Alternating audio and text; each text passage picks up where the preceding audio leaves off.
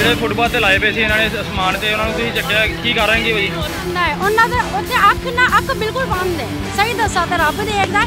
ਸਾਰੇ ਦਿਨ ਹੀ ਦੁਨੀਆ ਦੀ ਅੱਖ ਬੰਦ ਹੈ ਬਸ ਸਾਡੇ ਦੇ ਸਾਹਮਣੇ ਪੱਟਰੀ ਤੇ ਬੈਠੇ ਨਾ ਉਹਨਾਂ ਨੂੰ ਦੇਖਣਾ ਹੈ ਹੋਰ ਕਿਸੇ ਨੂੰ ਨਹੀਂ ਦੇਖਣਾ ਹੈ ਗੱਲ ਉਹ ਹੈ ਕਿ ਬਸ ਉਠਾ ਉਠਾ ਕੇ ਫੈਂਕ ਦੇਣੀ ਹੈ ਕਿਸਨੇ ਤੋੜੇ ਸੀ हमको नाम तो नहीं मालूम पर पुलिस वाले तंग कर रहे हैं उठा उठा के मार रहे हैं गरीब बंदा कहाँ जाए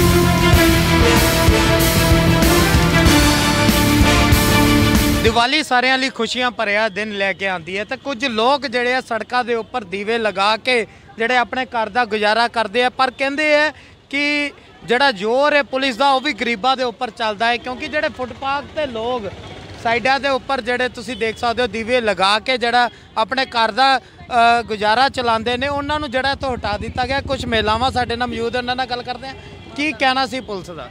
ਪੁਲਿਸ ਤਾਂ ਕਹਿ ਰਹੇ ਕਿ ਯਹਾਂ ਦੁਕਾਨ ਨਾ ਲਗਾਓ ਆਪ।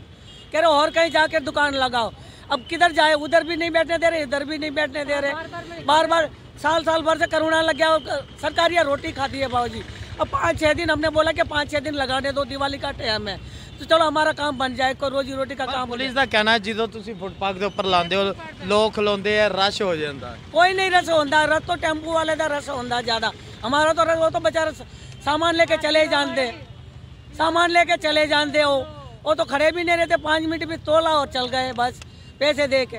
पुलिस वाले जानबूझ के कर दे ये बैठने ही नहीं दे रहे हमको। आज पुलिस वाले आए की क्या के गए? वो कह उठाओ चलो भागो यहाँ से। यहाँ से मत दुकान लगाओ। धक्का दिया ऐसे बोले फेंक दिया। हमने मेहनत भी की मेहनत भी की ऐसे न करो। पर बहुत मांगा क्या बच्चों को डांटा उठाओ उठाओ। ਕਹਾਂ ਜਾਏ ਗਰੀਬ ਬੰਦਾ? ਦੁਕਾਨ ਲਗਾਓ ਇਧਰ।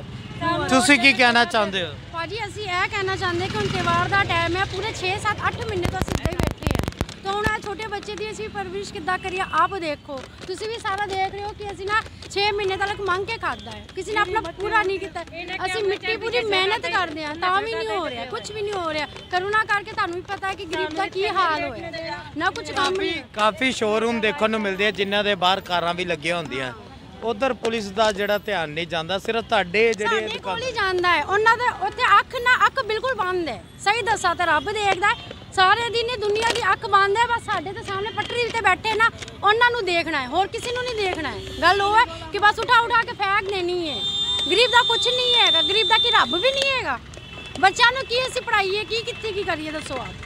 ਬੱਚਿਆਂ ਦੀ ਬਿਲਕੁਲ ਐਜੂਕੇਸ਼ਨ ਸਾਰਾ ਕੁਝ ਗਿਆ ਹੋਇਆ ਹੈ ਅਸੀਂ ਬਸ ਪੱਟਰੀ ਤੇ ਬੈਠਦੇ ਹਾਂ, ਬਸ 2 ਮਿੰਟ ਆਂਦਾ ਗਾ ਉਹ ਵੀ ਚਲਾ ਜਾਂਦਾ ਕਿਤੇ ਟ੍ਰੈਫਿਕ ਹੁੰਦਾ ਕਿਤੇ ਕੁਝ ਹੁੰਦਾ ਆਹ, ਅ, ਆਟੋ ਵਾਲੇ ਟੈਂਪੂ ਵਾਲੇ ਕਾਰਾਂ ਖੜੀ ਰਹਿੰਦੀਆਂ ਉਹਨਾਂ ਨੂੰ ਕੁਝ ਵੀ ਨਹੀਂ ਹੈ ਸਾਨੂੰ ਹੀ ਹੈ ਬਸ नहीं कहते सानू हमको ही कहते हैं कहते चलो मत दुकान लगाओ मत दुकान लगाओ इधर उठो क्यों आंदे लगाने वाले किसने गाली निकाली आप अब बहुत जन है पुलिस वाले अब किसको कहने जाए कोई अच्छा भी रहता कोई है। अच्छा भी भी रहता है। कोई अच्छा रहता कि लगा लो कोई बात नहीं गरीब इंसान कहाँ जाएगा? कोई ऐसा रहता कि उठाओगे उठा के फेंक देते। अभी सुबह सात बजे देखो सभी दीवे टूटे हुए इनके। सभी पूरे दीवे दीवे सब कुछ टूट गया सुबह सात बजे। किसने तोड़े वो? अब ये आंटी थे बहुत ज़्यादा किसने तोड़े दिए हमको नाम तो नहीं मालूम पर पुलिस वाले तंग कर रहे हैं। उठा उठा के मार रहे हैं। गरीब बंदा कहाँ जाए?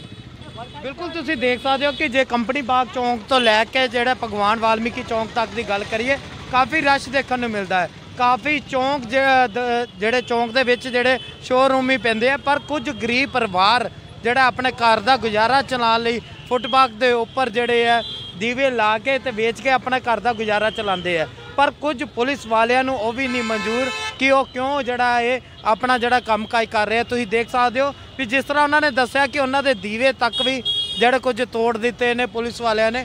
ਪੁਲਿਸ ਦੇ ਇੱਥੇ ਇੱਕ ਇੰਸਪੈਕਟਰ ਸਾਹਿਬ ਵੀ ਆਏ ਸੀ, ਉਹਨਾਂ ਨਾਲ ਵੀ ਜਦੋਂ ਗੱਲਬਾਤ ਕਰਨ ਦੀ ਕੋਸ਼ਿਸ਼ ਕੀਤੀ, ਪਰ ਉਹ ਵੀ ਹੁਣ ਤੁਸੀਂ ਦੇਖ ਸਕਦੇ ਹੋ ਕਿ ਇੱਥੇ ਰਫੂ ਚੱਕਰ ਹੋ ਗਿਆ ਮਤਲਬ ਕਿਤੇ ਨਾ ਕਿਤੇ ਜਿਹੜਾ ਹੈ ਪੁਲਿਸ ਦਾ ਡੰਡਾ ਵੀ ਜਿਹੜਾ ਗਰੀਬਾਂ ਤੇ ਚੱਲਦਾ, ਉਹਨਾਂ ਸ਼ੋਰੂਮ ਵਾਲਿਆਂ ਤੇ ਨਹੀਂ ਚੱਲਦਾ, ਜਿਨ੍ਹਾਂ ਦੇ ਬਾਹਰ 4-4 5-5 ਗੱਡੀਆਂ ਜਿਹੜੀਆਂ ਲੱਗੀਆਂ ਰਹਿੰਦੀਆਂ ਨੇ, ਜਿਨ੍ਹਾਂ ਦੇ ਕਰਕੇ ਜਿਹੜਾ ਟ੍ਰੈਫਿਕ ਜਾਮ ਹੁੰਦਾ ਇਸ ਗ- ਸਾਰੇ ਮਾਮਲੇ ਦੀ ਜਿਹੜੀ ਆਪਾਂ ਗੱਲਬਾਤ ਜਿਹੜੇ ਇੱਥੋਂ ਦੇ ਡੀਸੀਪੀ ਟ੍ਰੈਫਿਕ ਨਰੇਸ਼ ਡੋਗਰਾ ਦੇ ਨਾਲ ਵੀ ਕਰਾਂਗੇ।